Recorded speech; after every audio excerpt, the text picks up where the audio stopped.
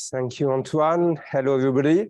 I'm very glad to meet you today and very happy to have the opportunity to present part of my research. Uh, before to begin, I will uh, present myself in a few words. So I am uh, Olivier Allain. I am associate professor at University Paris, Paris Cité, ex-Paris Descartes. So the, the, the brother of uh, Paris Diderot and I do my research at uh, the Center of uh, d'Economie de la Sorbonne, which depends on University Paris 1. Uh, I uh, conduct all my research in post-Keynesian economics, uh, and I have uh, put here the main topics I am think, thinking about. Uh, first, I work on my microeconomic basis uh, consistent with post-Keynesian economics, of course, M microeconomic basis of the principle of effective demand. I also work on functional dis income distribution and economic activity.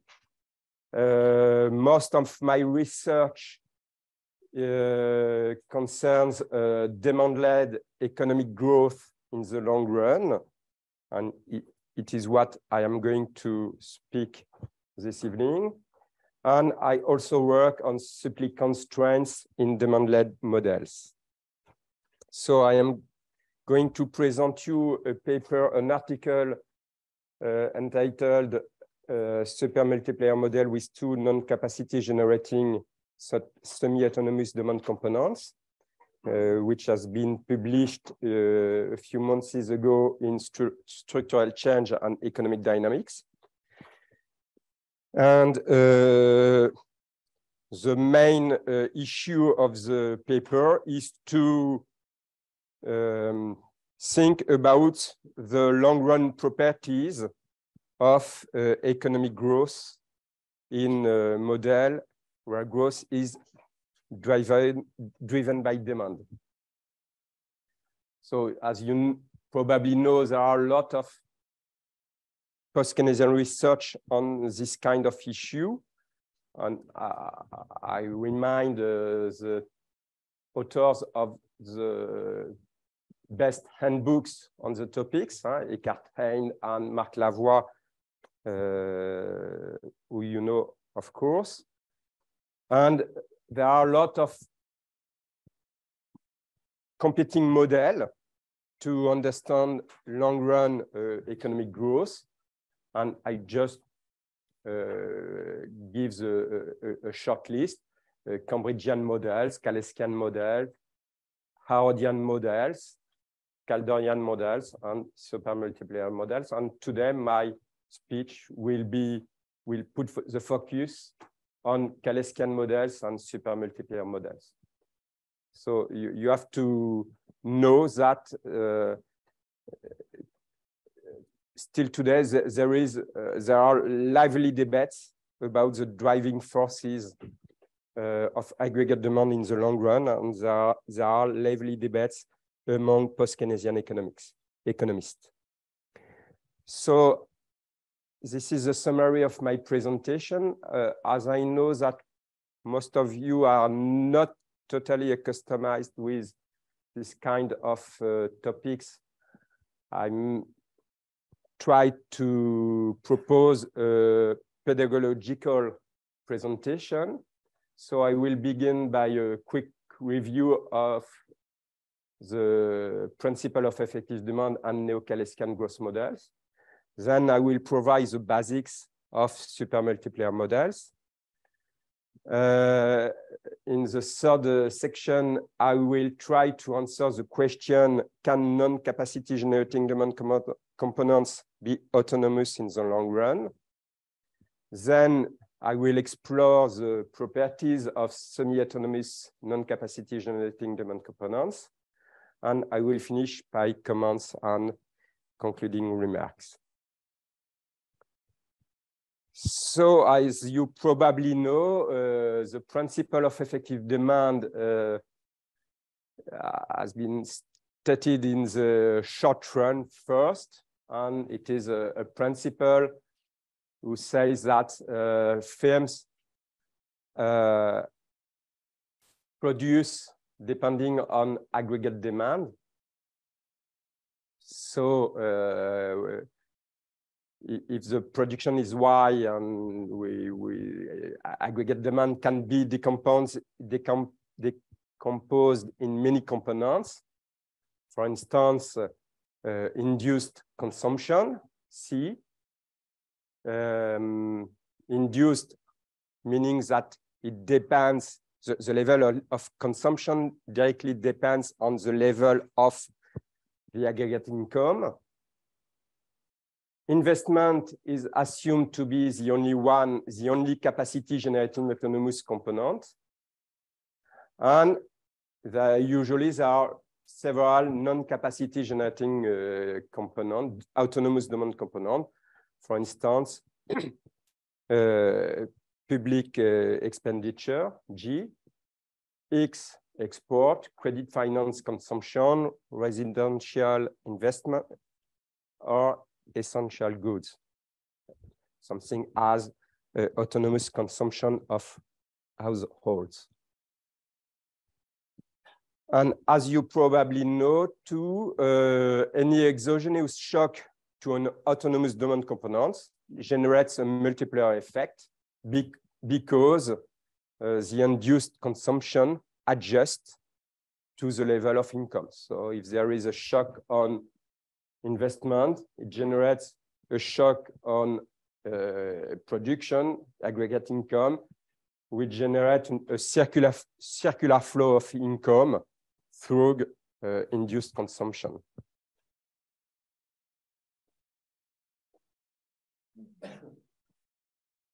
Likewise, if there is a shock uh, to uh, another, uh, to a non-capacity generating uh, autonomous uh, component, Z, it generates a, a, shock on production, aggregate income, and then a circular flow of uh, consumption, which explains the multiplier effect. Usually the stock of capital is assumed to be exogenous in the short run. And uh, the factor of production are assumed to be uh, complementary rather than substitute, substitutable. Uh, so uh, the level of production is given by the level of employment and by the uh, level of the rate of capacity utilization, U. Okay, so that if there is an, uh, so that uh, the firms responds to an increase in the aggregate demand by increasing both employment and the rate of capacity utilization of their capital stock. Okay, provided, of course, that the system is not subject to supply constraints. So we assume that the level of employment is lower than, than full employment. And we also assume that the rate of capacity utilization is lower than one.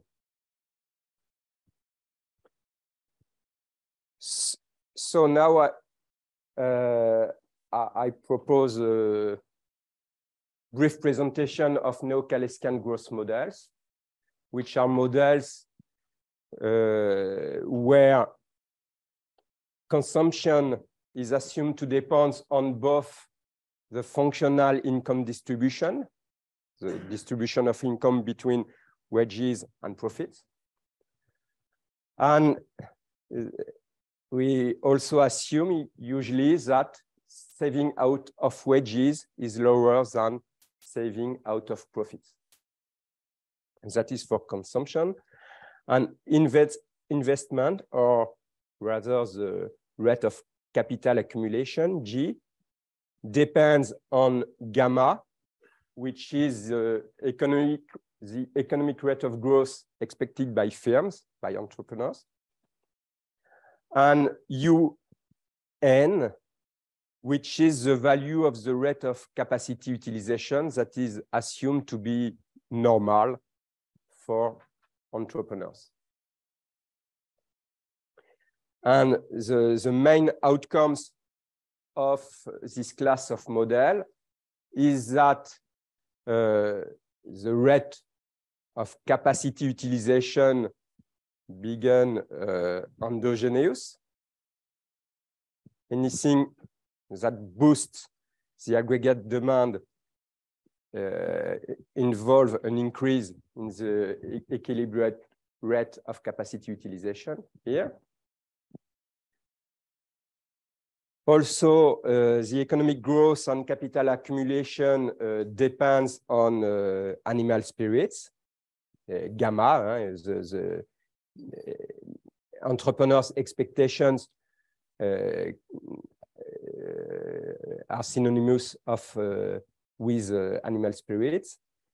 Economic growth also depends on functional income distribution, and it can depend on other parameters influencing the level of uh, the equilibrium rate uh, U.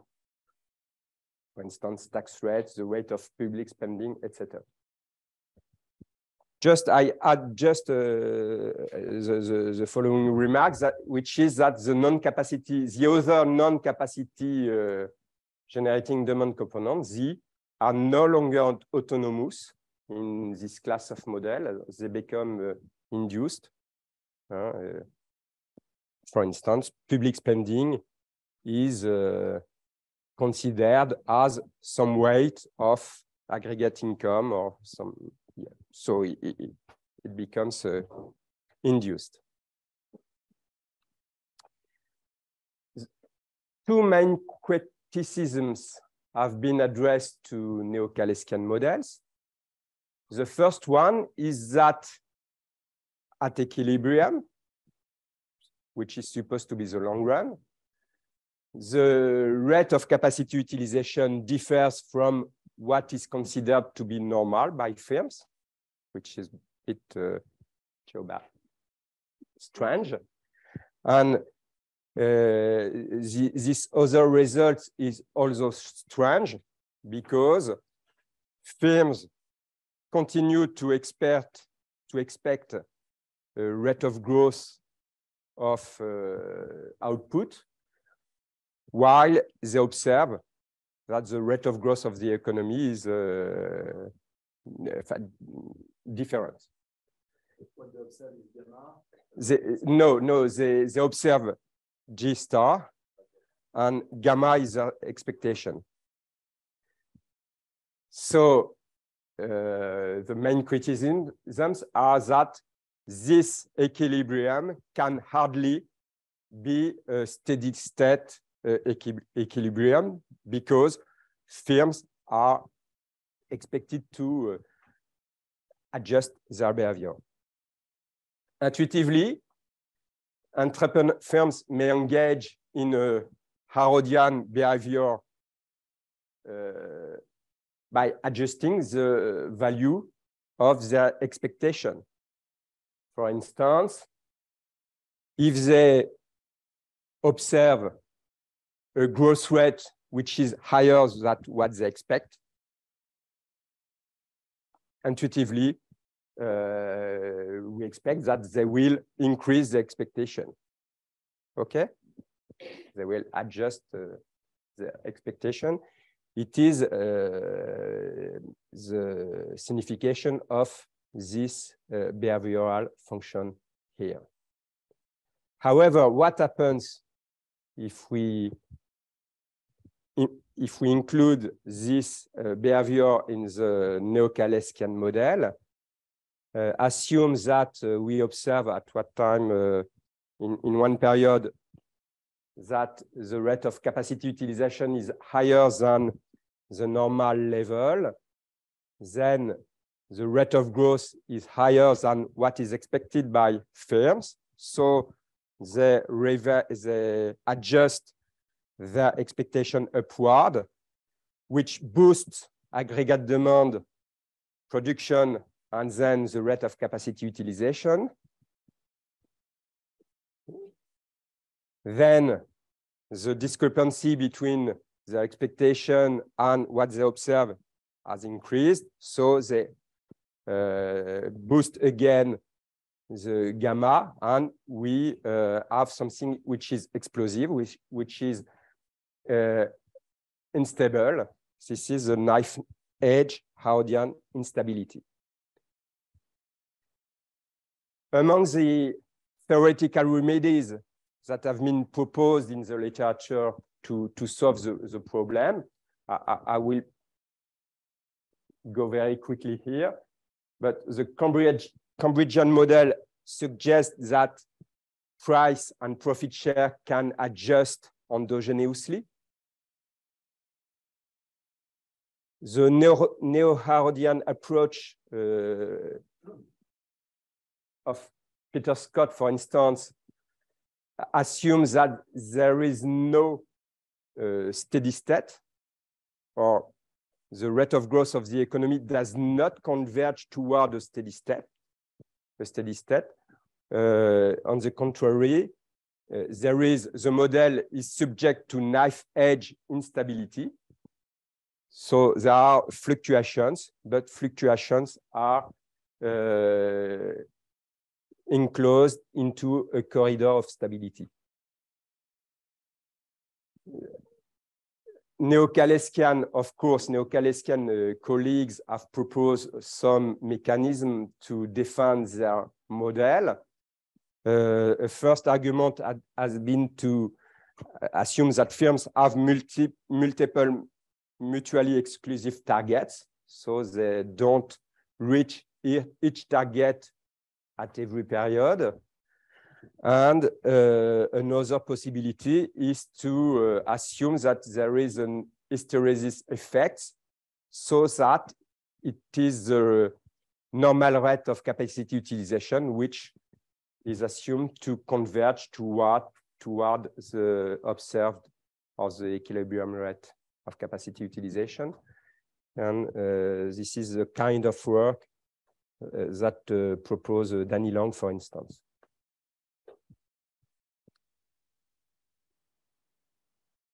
So I think that it is interesting to start the presentation of super multiplier models here because they are partly an answer to the problem I just uh, present in the previous slide. Uh,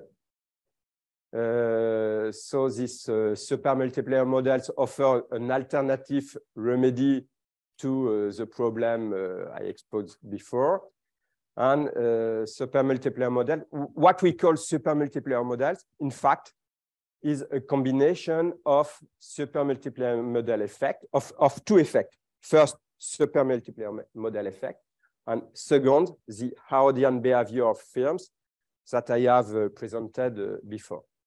So what is a super multiplier effect?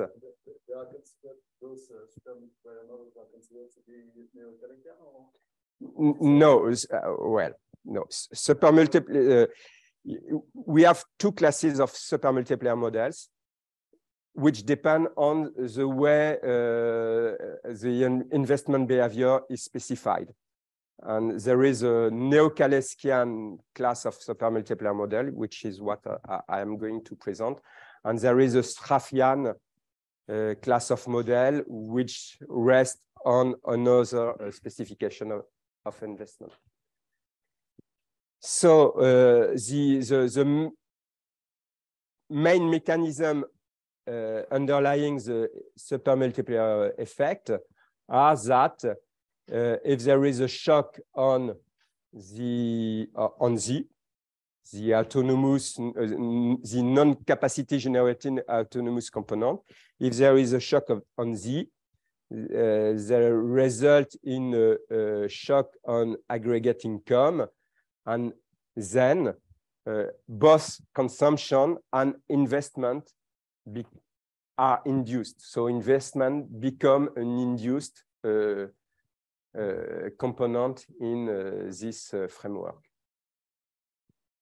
As a result, economic growth is now driven by Z, so that the rate of growth of the economy converges towards the rate of growth of non-capacity generating autonomous components. But this effect does not provide a solution to the problem I, I stressed before. I, I focused on before. So what I proposed in my first paper on the topics a, a few years ago was to combine the supermultiplier effect with uh, this effect, with this assumption that firms adopt a Harrodian uh, behavior.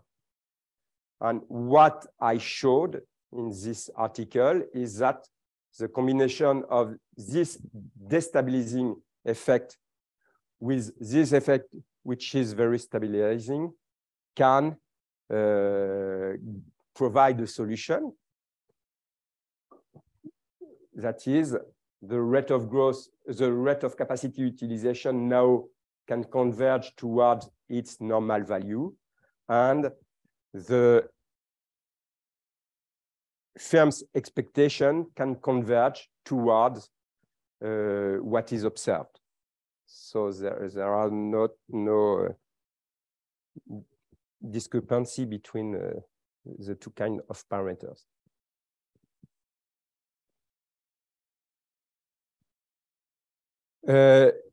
Uh, just uh, uh, I, I, like figures. I think that it, it allows to to see very quickly what, what is in what is at stake.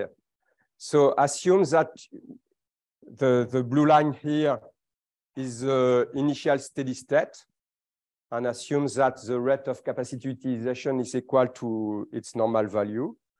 And if, if we assume, for instance, that profit share decreases durably uh, uh after one dat, then the, what, what is expected uh, in the neo-Kaleckian model is that both uh, is that the production will uh, increase with a lower rate here, and that both uh, the we will have the, these uh, differences here. Now, if we put the same assumption, this is the same shock in a supermultiplier model, what will happen is in red. So we will have uh, the, the rate of growth of the economy will slow down, but this uh, will be only transient because after a while, the rate of growth will uh, converge to its initial rate, which is the rate of growth of the autonomous component. Okay? And uh, when the economy reaches its uh, final uh, steady state, this is time, this is time. And uh, yes, in, in the final steady state, both the rate of capacity utilization is, is equal to its normal value and uh, the, the, the, firms does not make wrong expectation. So what about the autonomous components that have been proposed in the literature? There are many candidates. Uh, I proposed, but others proposed two uh, public uh, expenditures. Uh, Freitas and Serrano, who are Sraffian economists, propose credit finance consumption. Uh, Fiebiger and Marc Lavoie uh, propose private resi residential investment. Uh, we have also capitalist consumption. I wrote two articles proposing that uh, Z would be essential consumer goods. And my article also uh, deals with uh, or tackles the, the, the other Harrodian instability uh, problems. Of course, we may have export or consumption out of wealth. So this kind of uh, model are, are rich models. There is a rich literature, a, a rich young literature. There are a lot of candidates. This is something good, but this is also something that uh, weaknesses the framework. So I'm now I, am going to try to answer the question, can non-capacity generating domain components be autonomous in the long run? And uh, of course, I, I, will try to answer some questions that have been addressed by uh, some colleagues as uh, Nikiforos or Peter Skott, uh, who says that in the long run, it is unlikely that autonomous expenditure is really autonomous, or to be autonomous, a component of demand must be exogenous. And the usual pragmatic uh, response is that in the long run, there is no truly exogenous variable, and autonomous need not mean exogenous or constant.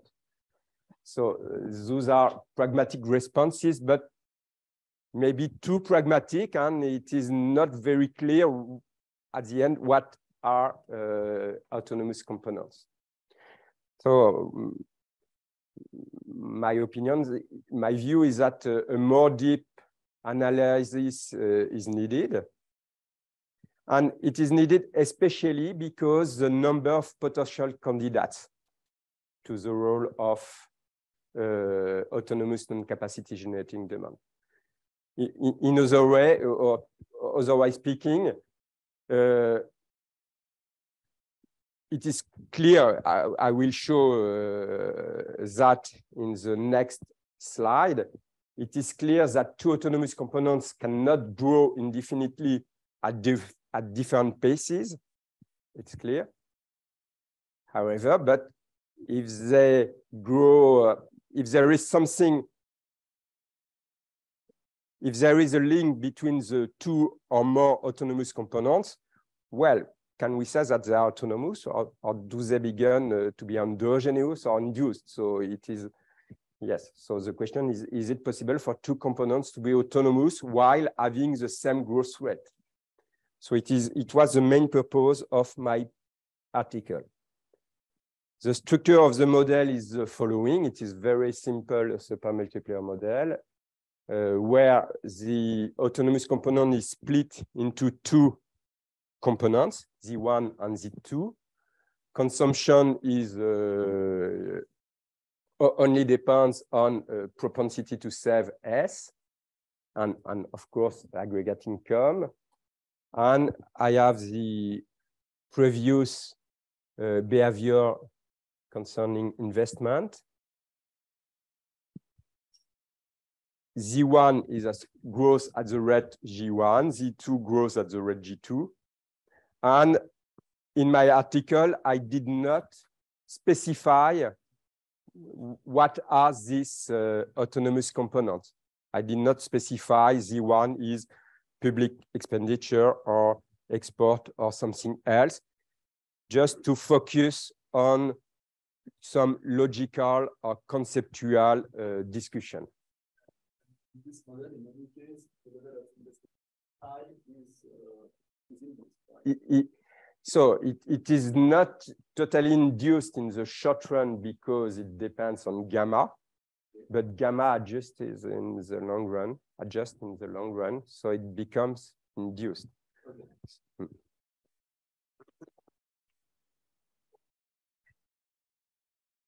So because I did not specify the components.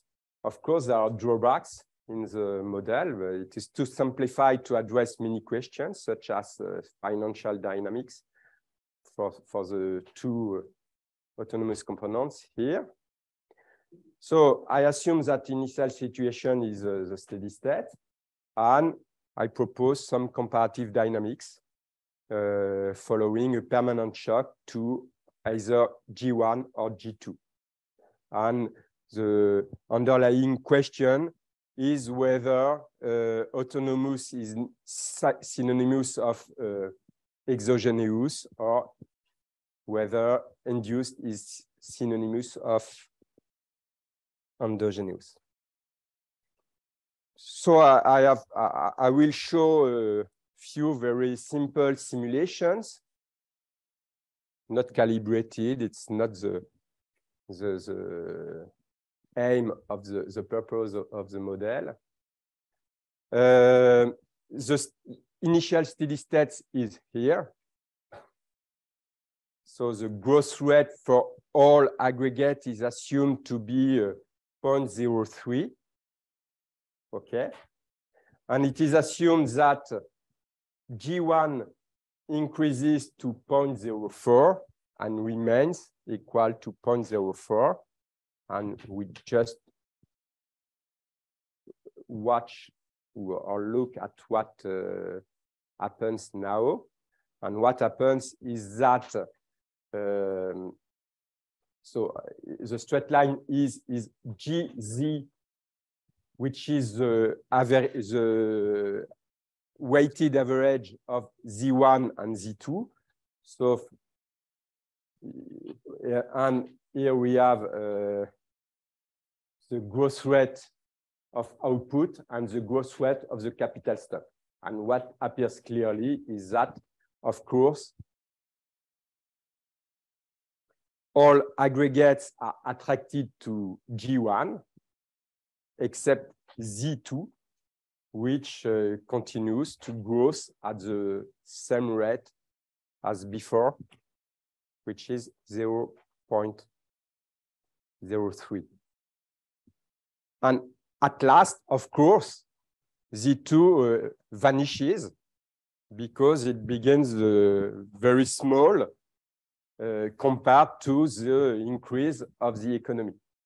So it is a way to answer to the previous question, uh, no, two autonomous component cannot increase at different exogenous rate because at the end, those who grows with the lower rate will disappear.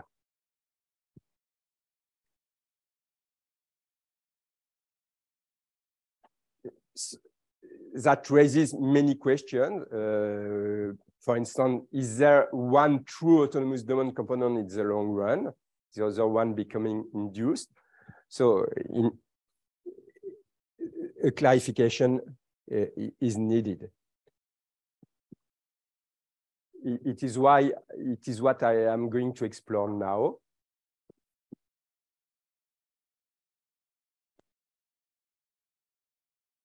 J'ai mis un chronomètre, mais j'ai oublié de le dire. D'accord. OK. So what are the properties of uh, semi-autonomous non-capacity non generating demand components? Uh, here, a dose of pragmatism is required. Uh, I also propose to uh, adopt uh, the Uh, ex uh, expression uh, proposed by Fiebiger and Lavoie, as they say that obviously no one believes that, the, no, as they say that the prefix of semi is found is Kalecki, and it seems to be preferable. Obviously, no one believes that the growth rate of the semi-autonomous expenditure will be a constant value in the real world, even on average. So at last, there will be a distinction between induced components, which are components that more or less directly depends on the level of the aggregate income, and uh, semi-autonomous components, which can be the result of discretionary decisions, decisions at least uh, over periods, period, which can be also uh, which the result of a relative flexibility of financial conditions at least over subperiods or for other reasons. So we, we will have this distinction between induced components and semi-autonomous components.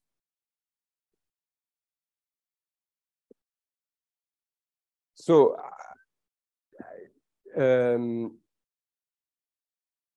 I propose another simu simulation. The, in, start, starting from the previous one. So the, the initial steady state is 0 0.03. G1 increases to 0 0.05. For instance, there is a fiscal stimulus. So uh, government decided to increase the rate of growth of public expenditure, or banks, decision, banks can decide to facilitate access to credit uh, to, to the households, for instance. But however, what happens here is that because the rate of growth of Z1 is higher than the rate of growth of the aggregate income here, uh, financial constraints arise uh, to, to finance uh, Z1. So the idea, I, I did not model it because Z1 is not specified, but we can expect some financial constraints on Z1.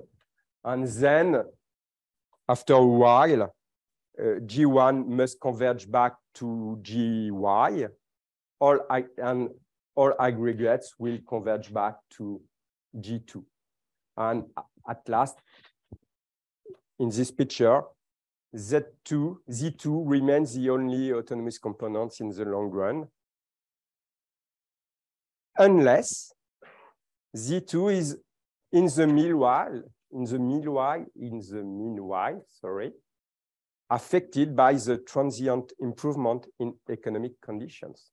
So I will propose another uh, issue to this uh, situation, which will be scenario C. And in, in scenario C, as before, G1 increases, but depending on uh, what is the autonomous component Z2, what happens? Because of the increase of G1, the rate of growth of the economy increases. And now Z2 is very easy, is more easy to finance. So uh, we can imagine that uh, the people or the agents that uh, control Z2 will uh, accept to increase the rate of growth of Z2. Scenario, uh, G2 is increasing, while in the previous one, scenario B, G2 is stable. Here, here I assume that Z2 is stable and that uh, Z1 uh, faces some financial constraint with uh, make it necessary to decrease uh, G1. And here, what I assume that is that, uh, of course, G1 faces some financial uh, problems, but in, in, meanwhile, uh, Z2 faces financial ease. So, uh, so it, it can be a convergence uh, through an increase in G2. But here, I, I, I come back. So here, the conclusion here is that in this situation, Z2 is the only autonomous component in the long run. In this situation, Z1 is the only, only autonomous component in the long run. But uh, although uh, uh, it is possible to, of course, imagine a mix of the two scenarios which can take this form here, assuming that uh, when uh, the agent that control Z1 decide to decrease G1 because of uh, financial constraints, the agents that control Z2 accept to increase G2 because uh, it is more easy to finance. Uh, so, and uh,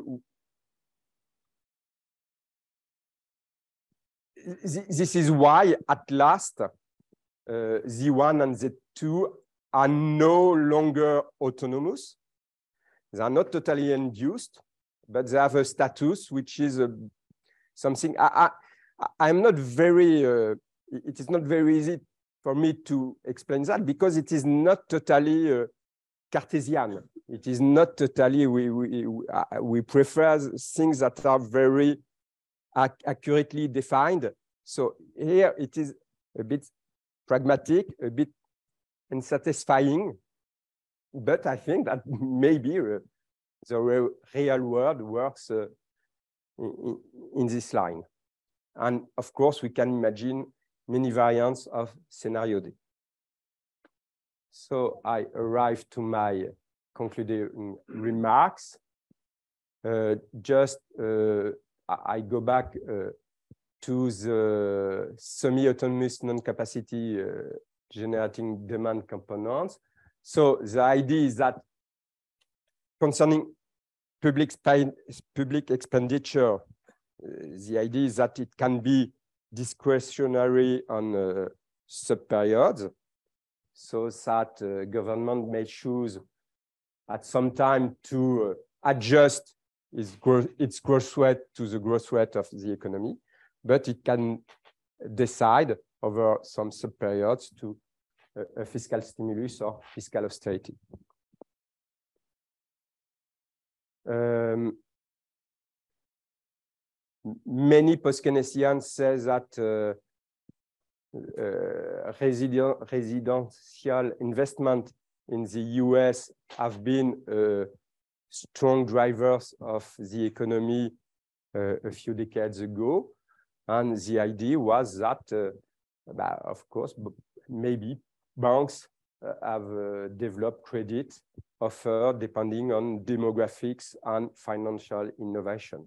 So it is possible over some periods to uh, propose a rate of growth of credit or rate of growth of private uh, investment, residential investment, that is higher than GY. Exports. Exports is maybe more problematic because it is usually considered as uh, it is usually considered to be exogenous or autonomous, but uh, this consideration is based on a partial analysis. In a general equilibrium, not a Walrasian equilibrium, but in a general uh, macroeconomic equilibrium, uh, the rate of growth abroad cannot be assumed to be exogenous and the reverse dependence uh, oh I, I, think that uh, maybe but, but the reverse dependence of the growth rate of uh, abroad on the growth rate uh, domestic rate must be specified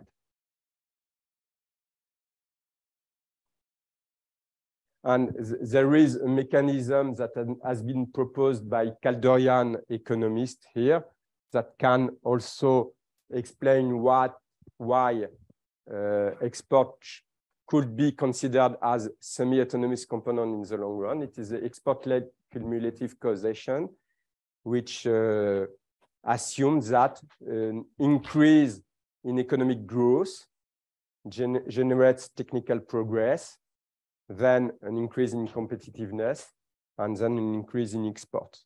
So exports can is not totally exogenous.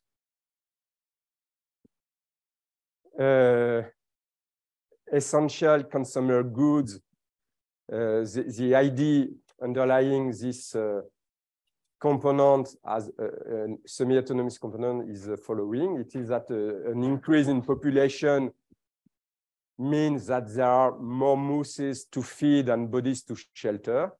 So the growth rate of uh, essential goods is equal to the growth rate of the population.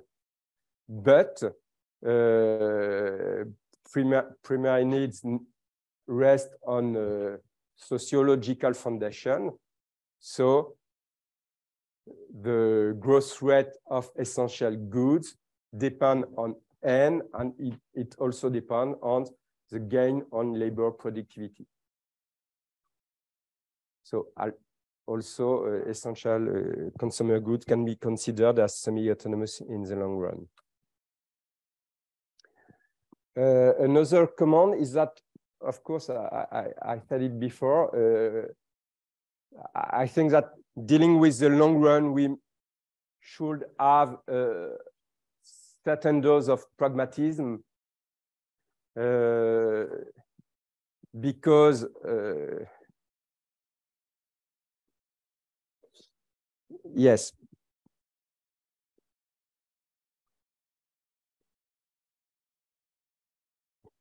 Because semi-autonomous components can become partially dependent from each other in the long run.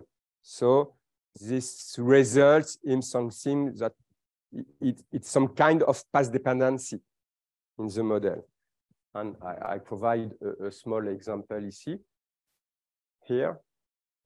And uh,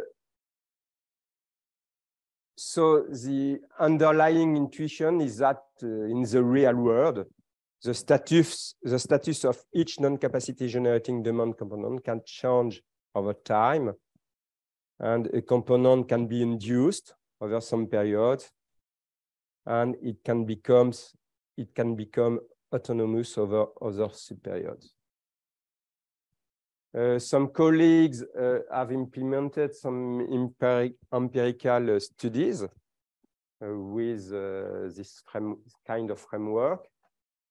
And several authors construct an aggregate non-capacity generating demand component, Z, and they put uh, usually uh, public expenditure, exports, residential investment, and so on. And they generally succeed in showing that GZ causes, uh, Granger causes the growth rate of the economy rather than the other way around. So it, it, it looks, it could be uh, an argument in favor of supermultiplier models. A few studies attempt to identify which autonomous component drive up or down the economy on some subperiod. It is a work I have in mind, a work, a work made by Freitas and Dweck on Brazil uh, over uh, many decades in the 20th century. And of course, uh, some connection are, are, possible with uh, comparative uh, political economy approaches. And uh, we, remembering that supermultiplier model focus on the growth rate of semi-autonomous demand component, while other approach can put the focus elsewhere, for, for instance, on the on income distribution as in neo-Kaleckian model. Uh, to finish, um, I have a somewhat paradoxical and not totally satisfying for me conclusion, which is the following. Uh, according to supermultiplier models, the rate of growth of the economy converges toward the rate of growth of non-capacity uh, demand component in the long run. However, these components none of these components are entirely exogenous or autonomous. Therefore, the long run is likely to be highly path dependent. So that, which is maybe realistic, pragmatic, but a bit frustrating on a theoretical uh, view because uh, theoretical models become poorly predictive.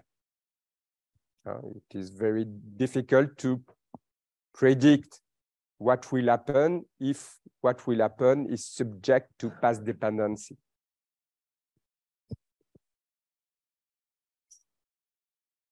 So at last, I think my opinion is that fundamentally the long run results from a succession of short or medium run. So I am quite confident to an expression which is reminded by uh, Marc Lavoie in his uh, handbook.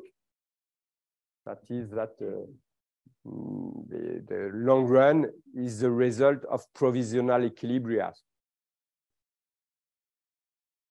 So to finish, uh, what are the contributions of supermultiplier models? In my view, they can be seen as an extension of neo-Kaleckian models or other model which deals with a lower run.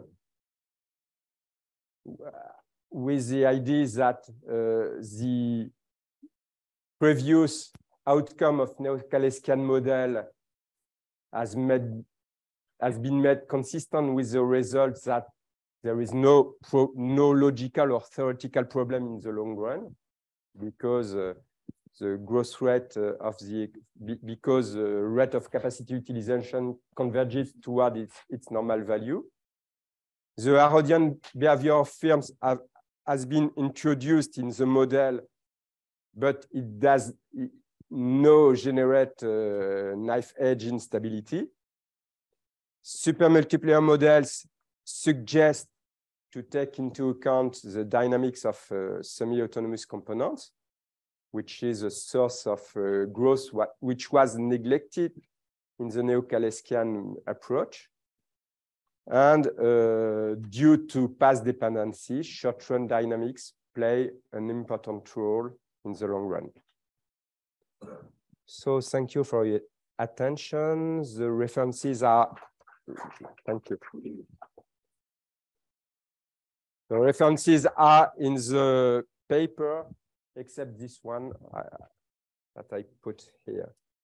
Okay, thank you very much uh, for this uh, really challenging presentation. I think uh, we uh, I have a much better view of what is meant by the uh, square model. So what students, Ralph, you want to ahead?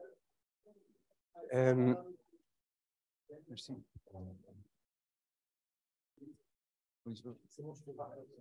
Hein? I, Donc, euh, en fait, euh, vous pouvez le garder le microphone. Vous pouvez garder le microphone. D'accord. Oui. Je vais l'éteindre. Oui. Vous allez brancher ça. En fait, je vais partager de mon ordinateur directement. Merci. Euh, en fait, je pense que, que vous devez. C'est le. Ah, j'ai peut-être pas fait ce qu'il fallait. D'accord, d'accord. D'accord, donc. Euh, uh, can you hold here? Can you hold? Can you hold, please? Oh. Alors, donc, euh, c'est le partage, c'est le vert. On la screen. Ok, donc. Euh, c'est celui-là. Ouais. Et en grand maintenant Parce qu'on est en grand hein? En, en, grand Comme ça? Euh, Ouais, plein écran. Ah, d'accord, zoom. zoom. Voilà, ok. Euh, c'est bon? Attends, je vais regarder là-bas. Branche-toi avec ça. Là, ça c'est pas bien. Non, le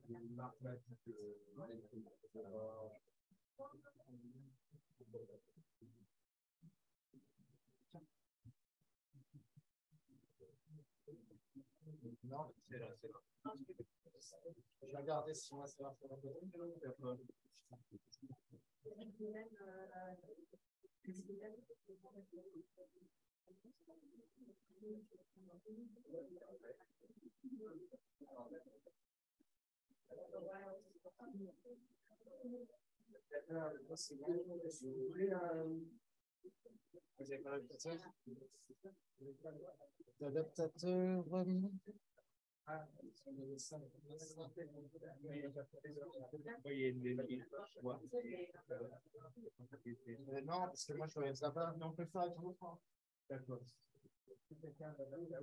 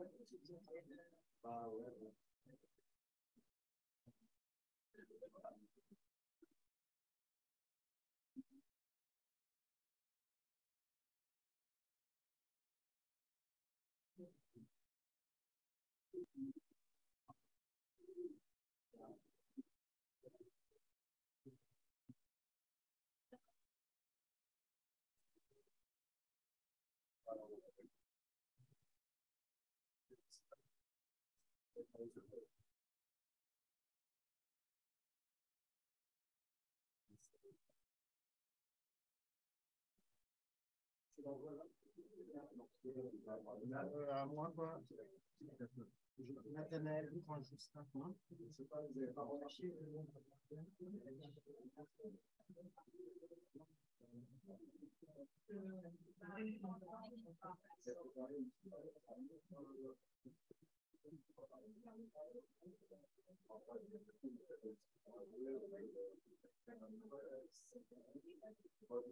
Ça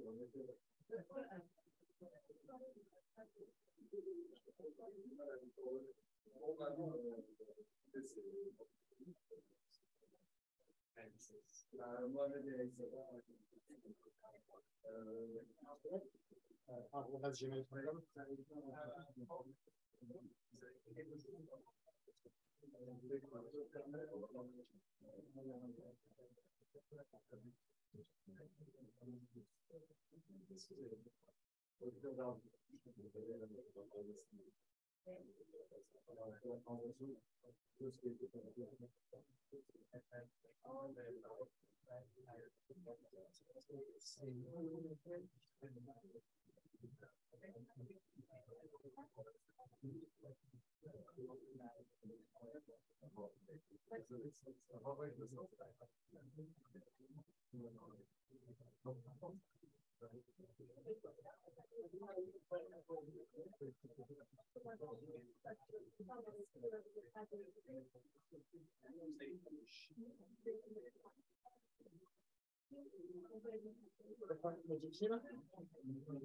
Ok,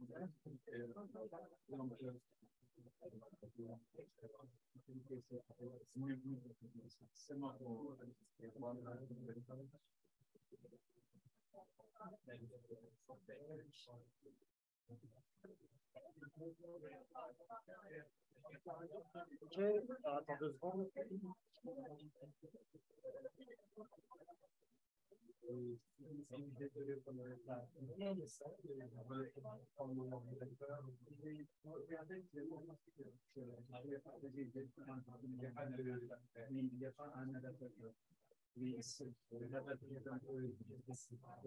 Donc là, en droite, il Alexandre. Non, non, je te viens.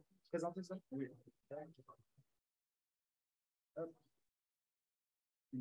De rien.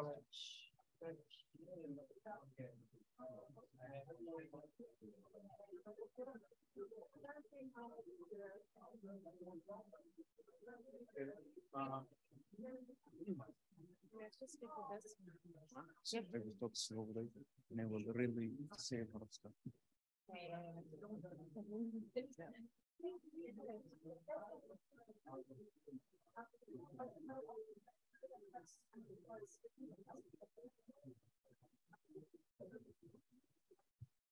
Yeah.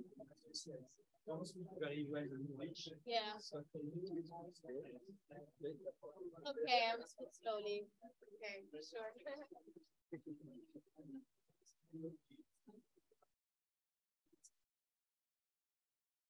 we are we the same number, so now we will try to do this for. Yes. Yes. Oui,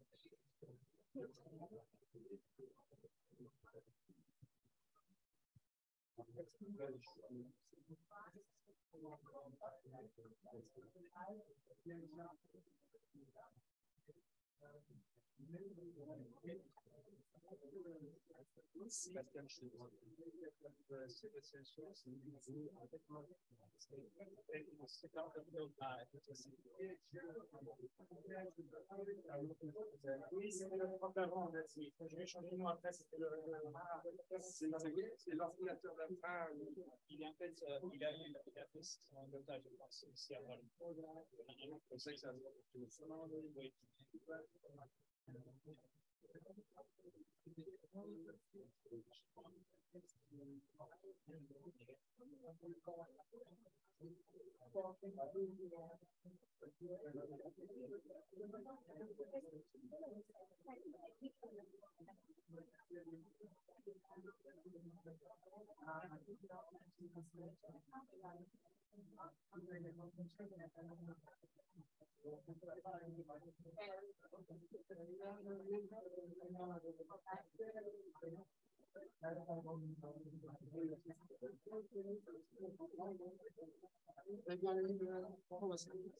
C'est bon?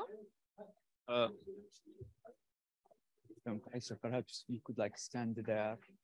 Hold on, so okay. No, no, I no, mean, it doesn't matter, even if it's shorter, they know that there was a third part that was supposed to Yeah. be, and so it's. we'll- like we'll always do it.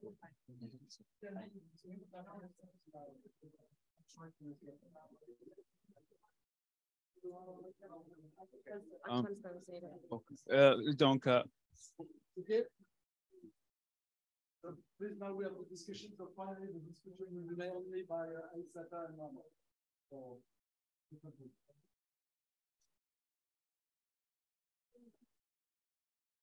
Uh, Hello, everyone. I am Mohamed, and with Aisha, we will present Professor uh, Allain paper, a super multiplier model with two non-capacity generating semi-autonomous demand components. A lot of big words, but we will try to, to make it accessible. Even the professor has done much of the work. Uh, first of all, we want to thank Professor Allain for coming and sharing hi- his work with us and for Professor Flasher and Rebelio for organizing the seminars. So first, uh, there is this uh, statistician called Box that created many models, and he said that all, all models are wrong and some are, are useful. In economics, most models are wrong and some are useful. And the, the model of the super multiplier and the underlying models are very useful indeed, and many of them are correct. So I, I will start with a brief introduction to the basics of these models. So the first model appear with the Keynesian multiplier, which basically me- measures the effect of changes in aggregate supply. So uh, if, if we, for instance, look at this graph, this, this graph provides us with many useful information. For instance, if we look at the two lines, AD1 and AD2, we see that they, they are parallel and we see that the only difference is G. In this model here, we consider that government spending is exogenous, is autonomous, and doing this basically allows us to understand the effects and the positive effect of government spending. For instance, if we increase government spending, what will be the net effect? And these kind of models help policymakers assess the nature of their policies. And we did notice that in the aftermath of the crisis of 2008, there was an outcry, there was a need for government to, to in- invest more. And at that time, many economists found that the multiplier was, was very high. We see also that many of the, we see that this Keynesian multiplier is a short-term model, basically because the multiplier is zero in the long run. So there is, there is no need for it to, to be a, oh, and it is also a capacity generating model. And even this Keynesian multiplier extend far from the fiscal policy framework. For, for instance, we, we see it in the monetary policy and central banking, where in the frac, fractional reserve banking, such the one that we have. We have the money, the money multiplier, which basically measures the the effect of monetary changes because uh, when banks receive deposits, they loan those deposits and then basically that those deposits are deposited at another bank, which then loans and so on and so forth. We have also the multiplier accelerator model, which was introduced by Samuelson in 1936, which is also a further extension of the Keynesian multiplier. So we see that the Keynesian multiplier is a very basic model, yet it's very useful.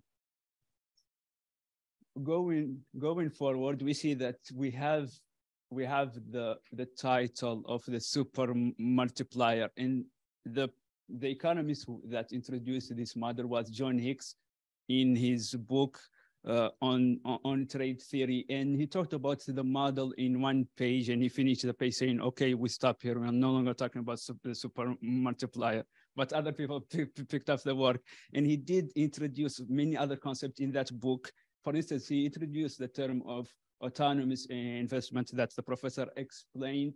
And we see that he used the autonomous investment term to to, to define the super multiplier. And even though his model is capacity generating, the, the autonomous investment part is does not play any role in super multiplier because it is caused by by autonomous consumption.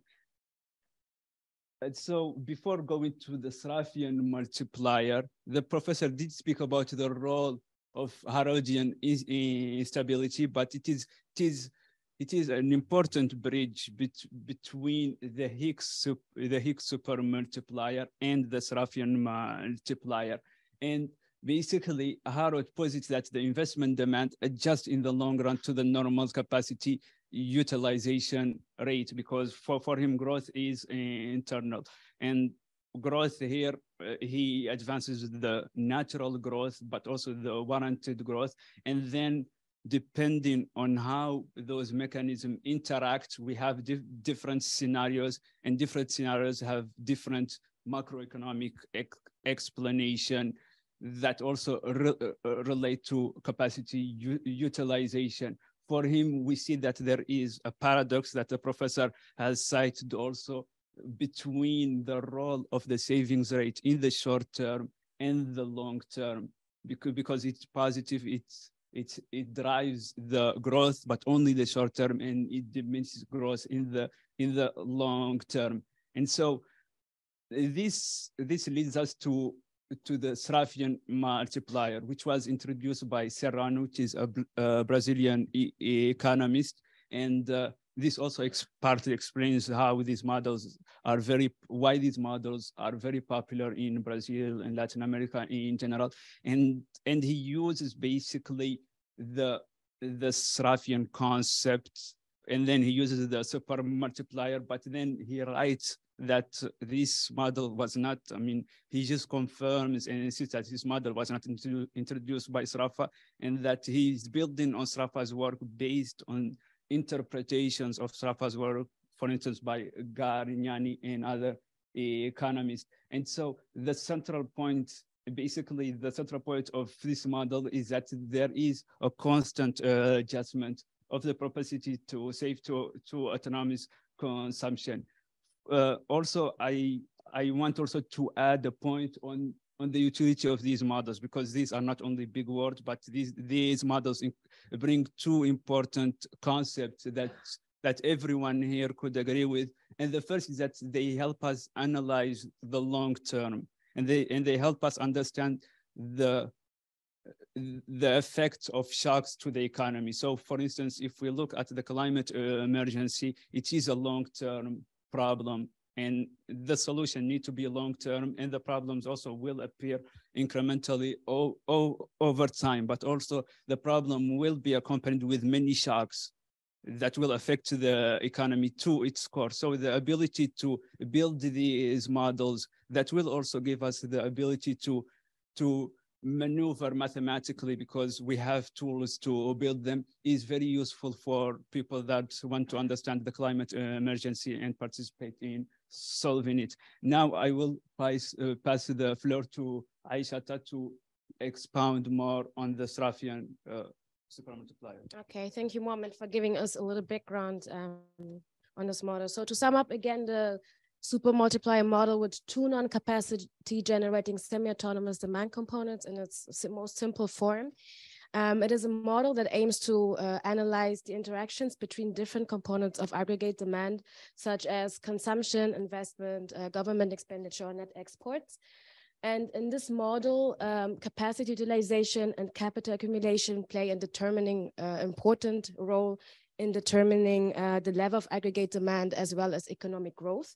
And also conversely, the growth rate of each of these autonomous demand components, as well as the uh, propensity to save, also play um, an important role on uh, or impact the capacity utilization and uh, capital accumulation individually in different ways. And one thing that the model also suggests is that if the semi-autonomous demand components are growing at different rates, and the long-term growth of the economy will be determined by uh, whichever autonomous component um, has the highest growth rate. So there's kind of a pull factor um, happening there. Okay, so uh, how does this specific uh, super multiplier model contribute to the literature of uh, super multipliers? Well, there are several ways it um, contributes. I'm just going to focus on three today, on three points that I want to highlight. Uh, which is first, it expands, is also what the professor already said, it, it expands upon the traditional superplier models by uh, incorporating multiple demand components, whereas previous super multiplier models only um, usually um, focused on one single component. And so therefore this model um, allows for more detailed analysis uh, of the interaction between different sources of expenditure. And then secondly, and this is also important, is that it considers the potential endogeneity of autonomous demand components um, compared to previous uh, models where they were usually uh, regarded as being exogenous or some components were regarded as being exogenous. What does that mean concretely? That means that the growth rates of each of the uh, autonomous demand components, such as government expenditure or exports, for example, are determined by factors that are internal to the model, meaning uh, related to, for example, income.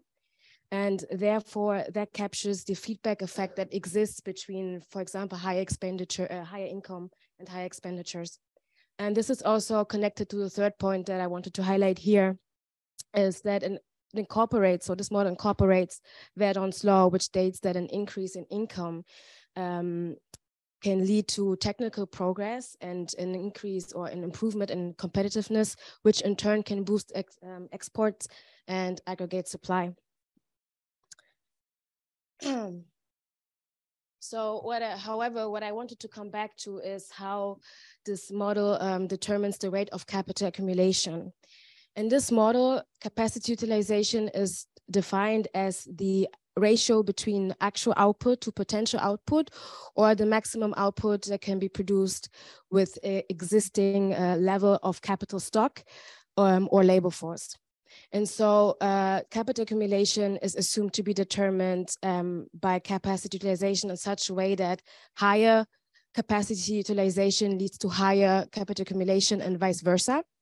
And this assumption is based on the idea that firms will invest in new capital stock um, um, when they are operating at full or at near capacity, as this will allow them to increase their production uh, as well as meet the demand uh, for their products.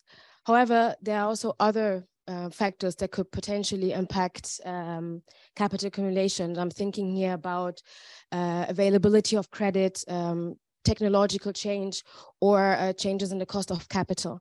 And from there stems my first discussion question to you, Professor, uh, given that the long run equilibrium is given when the uh, rate of capital accumulation is equal to the rate of, uh, to the capacity, rate of capacity utilization.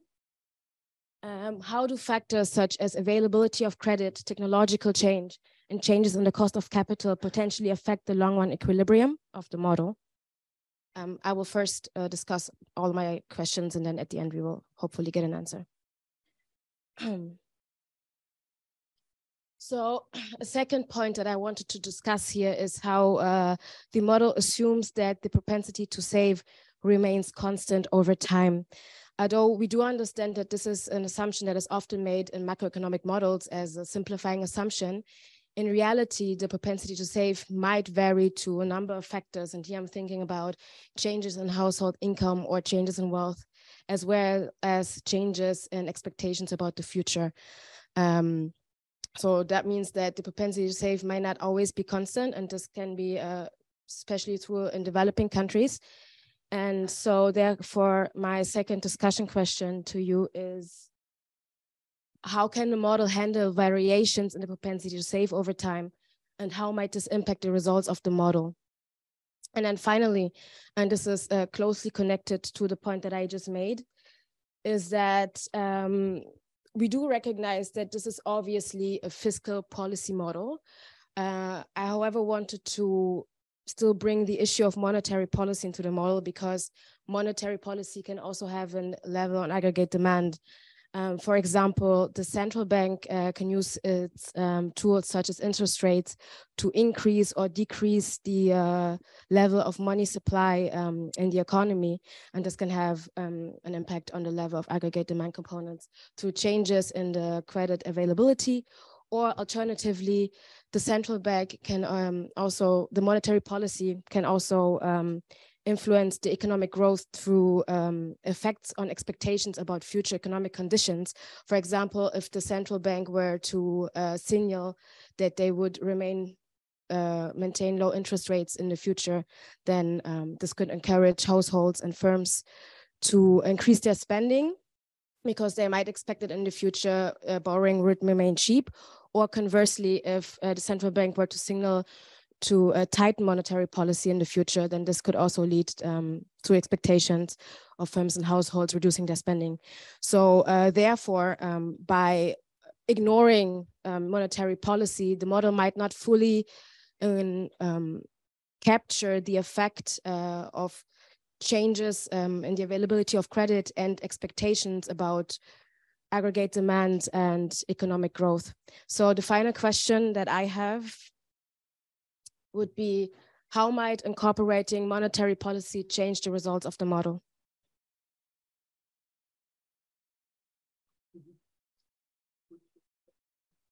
Okay, I'm going back to uh, well. It's, yeah. yeah, it's all of the questions. The third part, yeah. Okay, the, the presentation is finished.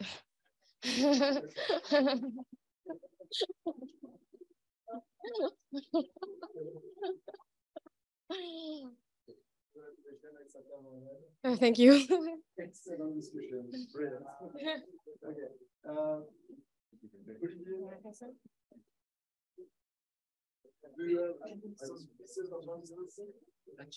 Yes, uh, I think I, so I don't know, maybe Olivier. Yeah, okay. Maybe Olivier can start answering those three or four questions. Do you hear me? Okay. And then I, I will start by to by my answer to the second question, which is the most easiest, the most easy. Uh, no, it, it, it, will be it it would be very easy to make uh, the propensity to save depend on uh, income distribution or the behavior of capitalists or workers. So if it is what you hear by uh, endogenous propensity to save or variations in propensity to save, I think that it is not a problem. I did not want to put too much uh, assumption in the model just to focus on what was uh, the, the question I wanted to address. Okay, so I, I think that th there is no problem to assume that uh, propensity to save uh, depends on uh, income distribution between wages and, and profits. Okay. Um, how might uh, incorporating monetary policy change in the results of the model? I uh, really, I don't know. I did not uh, address the, the question before. Um, well, I, some uh, Freitas and Serrano, Sraffian super uh, multiplier uh, economists, suggest that uh, credit finance uh, consumption uh, could be a great candidate to the role of semi-autonomous demand component. So credit, so I, I think that of course among the um, uh, um, among the um, of, uh, in, in, the specification of the behavior of credit uh, financing consumption and credit offered by banks, uh, there is the policy of the central bank. So the policy of the central bank can uh, have uh, an impact of this kind of autonomous demand component.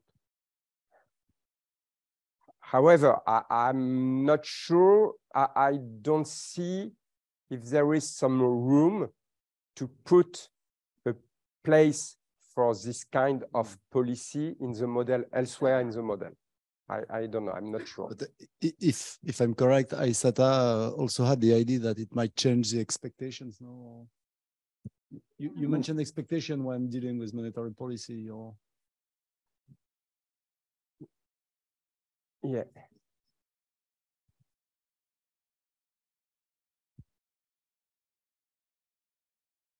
Yeah, so my point was um, if there's any way how somehow in the model to capture the expectations uh, on aggregate demand on economic uh, growth that are real well, as I said, because uh, if there is some path dependency, many things can happen in the long run.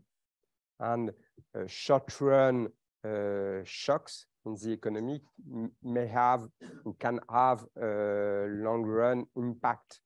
So, but, but it, it is not as easy. For instance, if firms have uh, better expectations, they will increase their uh, investment, their capacity utilization, but in sometimes they, they, uh, they will face to um, rate of capacity utilization, which will be uh, also in which way?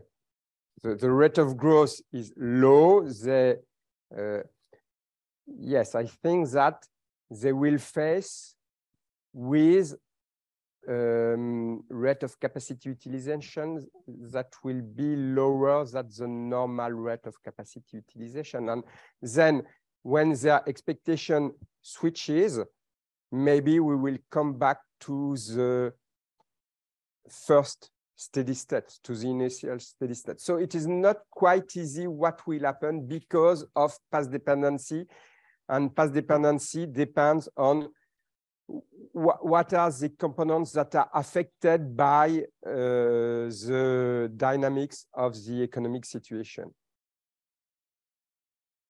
Um,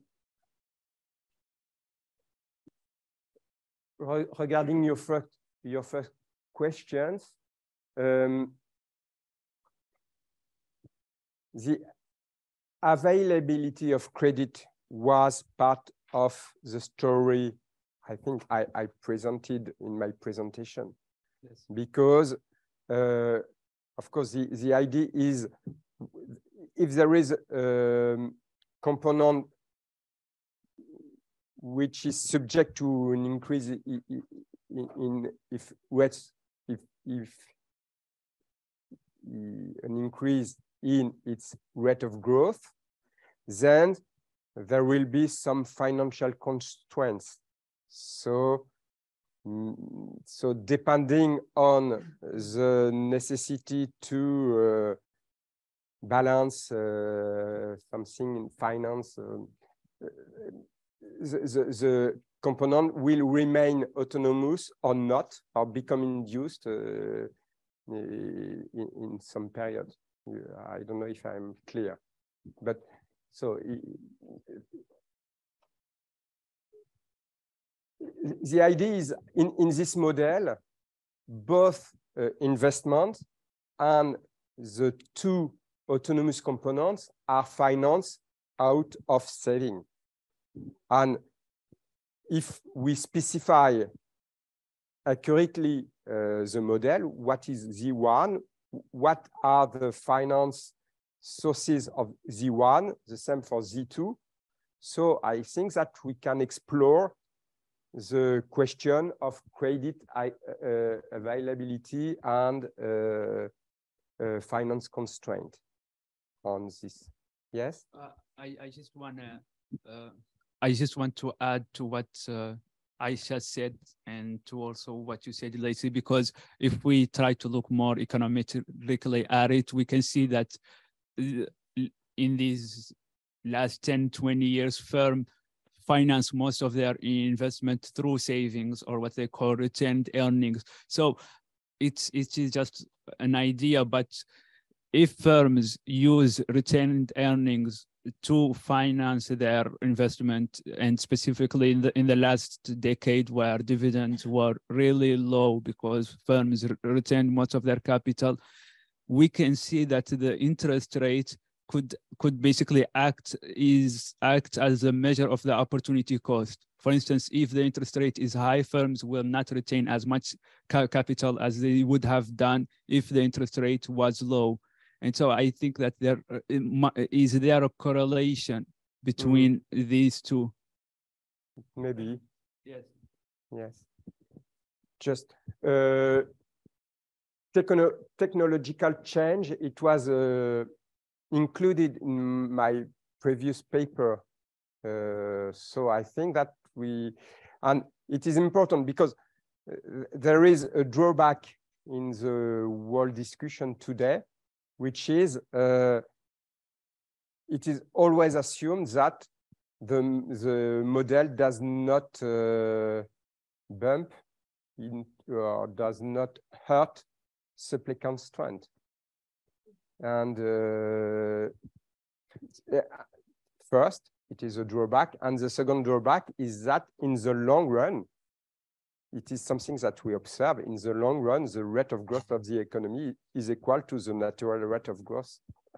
So we have to uh, establish the, the, consistency between the, the two growth, the two rate of growth. And the cost of capital, I, that, I don't know. But I, I would have to start by thank you for your presentation, which, which was brilliant, and thank you also uh, Aissata and Mohamed for your presentation. Thank you. Uh, yeah. Yes, one. Uh, hello, thank. For. Okay. Hmm? Oui, c'est vrai. J'ai bien là.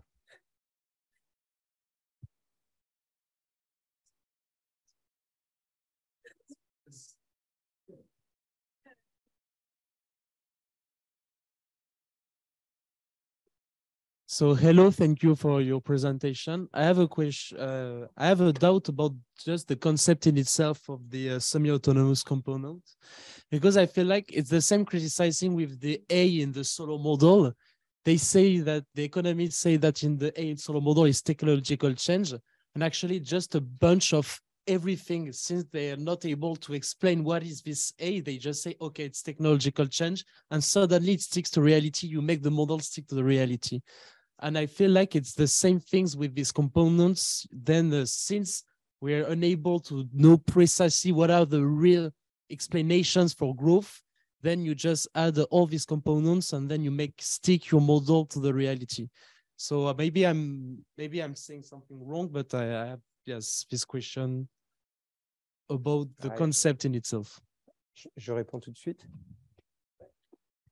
Uh, no, it's not wrong, uh, uh, but I, I, think that my process is not the same than in Solow model because in some way, my purpose is not to explain uh, economic growth in the long run. In some way, my purpose is to answer to, to response to a problem which was addressed to neo-Kaleckian models. And neo-Kaleckian models appear to be uh, rather quite uh, re relevant in some medium or, or, long run, but the problem of the discrepancy between what expect firms and what they observe. So the, I think that my model uh, re-established the consistency between uh, or, or, of the neo-Kaleckian model. Well, and as I said in my presentation, at the end, I am not sure about what are the engine of economic growth. Is it uh, the growth rate of autonomous components? It, is it uh, income distribution? Is it? I think that it is partly unsatisfying because I think that if you if you arrive to the answer that there is path dependency, so uh, there are a lot of uh, ex possible explanation to economic growth when you yes. So I don't think that I enclose the answer in one uh, in one only cause. I think that the problem is perhaps the opposite. It is too open, too, too, too wide, uh, the, the answer. Okay. Um, okay, thank you very much, Professor, for the presentation and also for my colleagues. Um, so I have a few short questions. First, I wanted to ask your personal opinion um, how you see the supermultiplier uh, compatibility with the Kaldorian uh, line of thought because I see the mechanism is very similar and the Kaldorian saying export is what drives growth uh, and the super multiplier adding other things to it. So what's your opinion on that?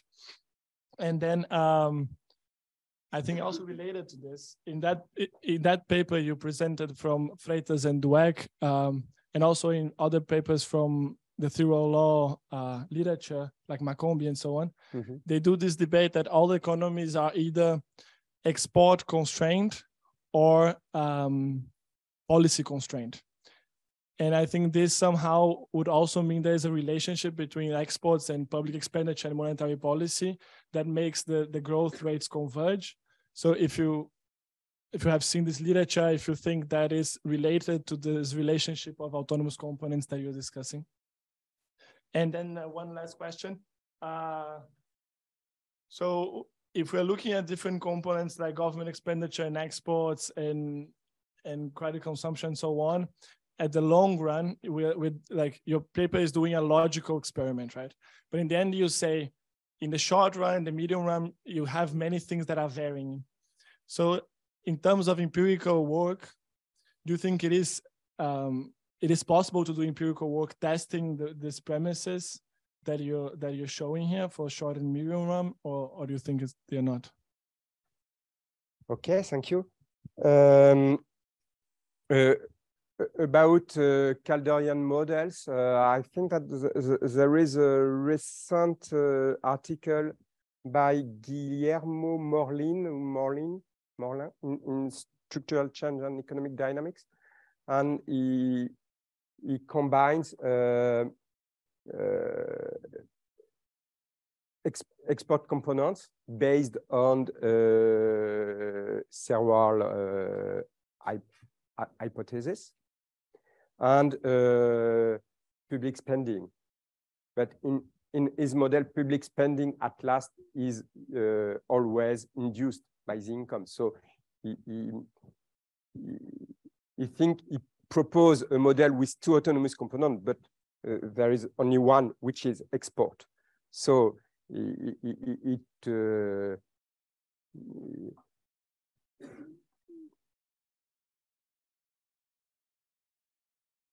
um, so two, two, two, two points. The first one is it, it is what Blake, Blecker and Setterfield says. It is okay, super multipliers model is, is another way to rewrite Thirlwall's law and uh, export-led model, uh, Kaldorian models, etc. And it is, and of course, there is not very far, the, the, the two class of our model are, not very far, far from each other. So I think that we are in the same family of models. Okay, but I'm, I'm never satisfied when someone says to me that uh, the only uh, exogenous or autonomous component in the long run is, is export because it is a way to not to answer the question because uh, why it is export? Because because of the rate of growth abroad. But what does explain the rate of growth abroad? You have to so it is a partial ana analysis. It is why I, I think that um, I, I, I, did not uh, uh, look too much at uh, this kind of model. I don't remind your second question, sorry. differentiation between um, export constraint or, or policy constraint ah, yes. in the literature? No, I think that uh, at last, what will be useful with this kind of super multiplier models, and maybe with uh, after my discussion, will be to implement uh, empirical uh, analysis in order to distinguish the fact that in sometimes in, in, in this country, uh, growth is driven by policy. And in other time, it is driven by export. And it is what do uh, Freitas and Dweck. Okay, so I think that it, it, it will be very interesting to mm, to to implement uh, this kind of, of studies. And about uh, empirical analysis, I uh, mentioned that some colleagues put uh, many uh, autonomous components in one component and they test the Granger, the, the Granger test the causality. I'm not quite sure that it is a, a relevant test to the to the theory. I'm not sure. I, I have some mm, uh, doubt. Uh, a bit confused in my mind, so I don't give, I don't explain my doubt. I, I think that it is very difficult to test uh, because it is difficult to write the the other the other to, to test against what Yes, and so it is, it is quite difficult. Okay, thank you for your question. Yeah, I wanted to ask a question about uh, if there is a um, European multiplier calculated by, by uh, in the research, and if not, if it's possible to calibrate such a model, uh, or at least find uh, parameters or calibrate parameters such as propensity to say propensity to see if, if it's possible to do it with reasonable uh, hypothesis in order to see the effect of potential shocks, fiscal shocks, for instance, on the economy? Um, I, I, think that today there is no uh, calibrate uh, mo uh, super multiplier model today. But I think that Freitas and uh, Serrano and colleagues in Brazil are working on some calibration and stock flow consistent and calibrated models. So um, I'm not sure that they made their calibration on European economics, but uh, I think that it is something that is in the air. But it, it will be interesting. Okay, thank you. Um, thank you, Professor. Uh, thank you also, Aisha and Mohamed. Um, so it's a very uh, kind of simple question, but I had the feeling that more than this, I mean, also describing the long run growth, but I feel that these models also try to deal with like problems that are appeared in the literature during the years, like uh, stability or like um, how to extend the the uh, the the principle of of um, demand of Keynes for the long run. And I feel that they try to answer these things by looking at by creating these models. And at the end, obviously, you came to the Caserta article to say, okay, maybe these models are not so are not the best thing that we should be doing. But do you think at the end that they solve these problems that we find? For example, do you think at the end we can say, okay, we understand that Harrod instability actually doesn't happen because of the super multiplier and the, the external markets? Or do you think there's still these these things are still there? Or or even like Marxist uh, view that like, okay, profits, what's guiding things? Do you think that these answers are solved with these um, super multiplier models, or you think this is also already op still open? Well, a simple question. So hard, hard, hard uh, answer, of course. Uh,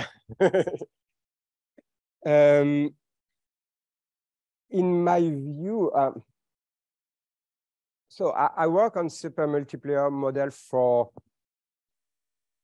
around 10 years. And maybe today I am more skeptical about what can be done. Oh, sorry. With this kind of model. I think that, for instance, uh, Brazilian colleagues uh, as uh, Fabio Freitas and, and so on, they are very um, motivated to uh, to improve this class of model and to show that uh, the, the reality uh, behave as the model and so on. My opinion, and if you speak with Marc Lavoie, I think that we share uh, the, the same opinion, is that maybe that one of the outcome of uh, my work, my previous works, is to have answered the question of the long run problems of the neo-Kaleckian model. And when you, and at this stage, you have, I think, two possibilities. Either you continue working on, on super multiplier model because you think that it provides a good understanding on the long run. Or you can say that, okay, the long run is very path dependent, so I will put the focus on short and medium run, uh, short and medium run uh, topics. I think that it, it answers the questions and and yeah. Uh, last one. Thank you, Professor, and my colleagues. Um, I was wondering, you know, this is related to my master thesis. When you were explaining that for you exports in this model can be semi-auto autonomous or can be at some point endogenous, do you think like remittances for developing countries specifically could also follow this logic? Because like in this sense, like they, there's not only an economical like relationship, but also a, socio sociological relationship with the people that is sending the money and to whom they're sending the money. So you think there could be there uh, an interesting like behavior that could be incorporated in these type of models? Yes, uh, of course, I did not have uh, think as much as I would have on this question because you asked me a few weeks ago, a few months ago.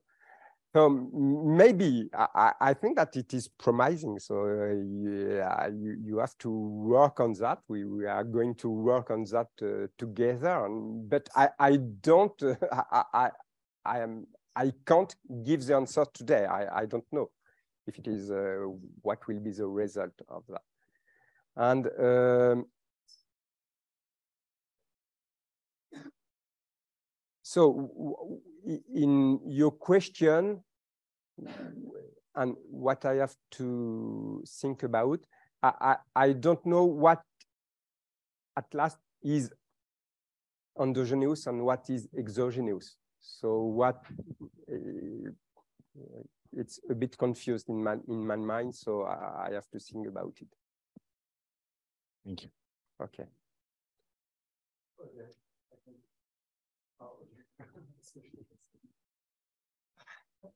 Uh, just a short, short question. Um, maybe I just understood it wrongly, but you explained that in the, the Cambridge, like in a neo-Kalecki model, and then you said there's the solution of the Cambridge school. um, to get the um, like the the things right. And I was wondering if if the solution is actually that the growth rate will be the same at as the previous um, is like then it's actually the same as in this sub- super multiplier model or not like Wi- with the Cambridge model? uh, like uh, in the neo-Kaleckian, you you said that the if the U star is higher than the UN, then the profit share will rise, and therefore the savings rate will rise, and therefore you have the adaptation of the U star. Mhm. And I'm wondering, does this mean that the rate of growth is actually adapting to the previous one, or not?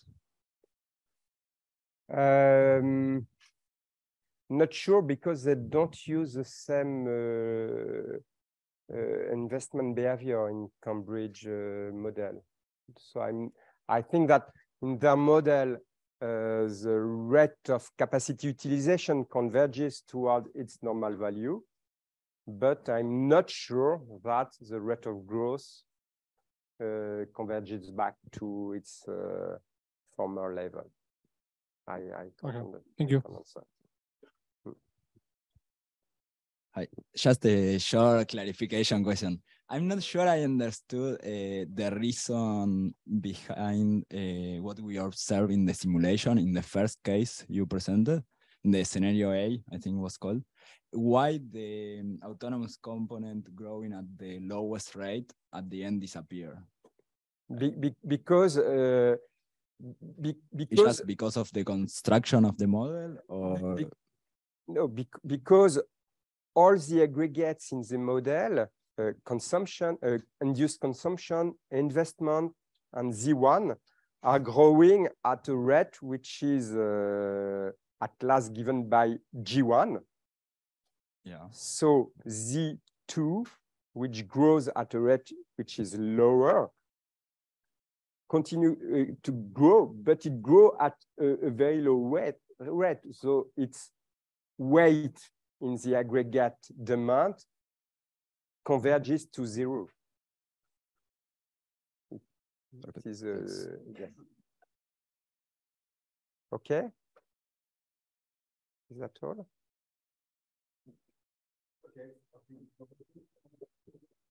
Thank you very much. Thank you.